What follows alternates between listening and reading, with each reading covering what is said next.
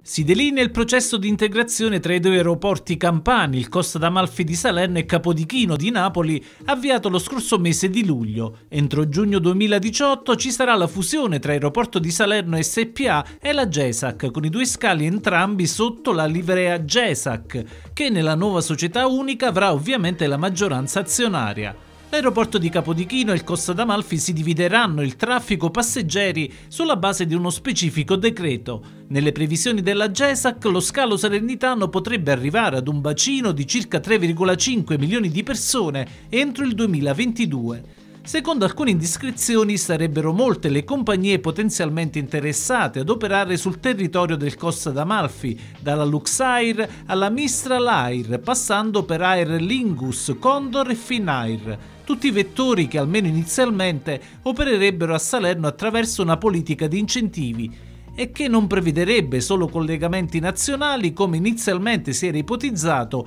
ma anche voli con alcune località europee. La pianificazione della gestione del traffico dipenderà ovviamente da una precisa condizione, un generico miglioramento infrastrutturale, sia interno all'aeroporto che esterno al Costa d'Amalfi, e che si traduce non solo nei 40 milioni di euro per il progetto della pista previsti nel decreto Sblocca Italia, il cui termine di scadenza per la cantierabilità è fissato al 31 dicembre di quest'anno, ma anche in altri 80 milioni che dovranno essere destinati ad alcuni interventi strutturali interni alla zona aeroportuale, compresa la realizzazione della nuova aerostazione oltre che ad un piano di miglioramento dell'accessibilità dell'aeroporto di Salerno, tra cui rientra anche il prolungamento della metropolitana. Sono stati definitivamente assegnati infatti 100 milioni CIPE destinati al completamento della metropolitana leggera di Salerno, nel tratto compreso tra lo stadio Arechi, attuale capolinea orientale, e l'aeroporto, con le ulteriori quattro fermate previste nel progetto,